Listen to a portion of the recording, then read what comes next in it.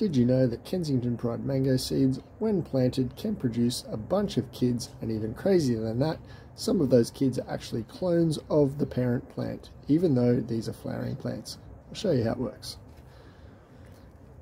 So here's one I've removed from a plant, or from a seed that's been dried out. These seeds are actually made up of multiple parts.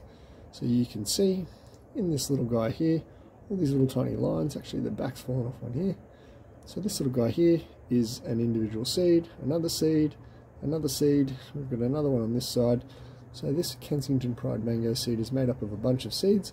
Some of these have been pollinated and some of them are clones of the parents because these guys are apomictic or apomictic. So if you want to sow Kensington Pride mango seeds, if the parent plant tastes good, then you can do that there's a good chance that you'll get yourself a clone.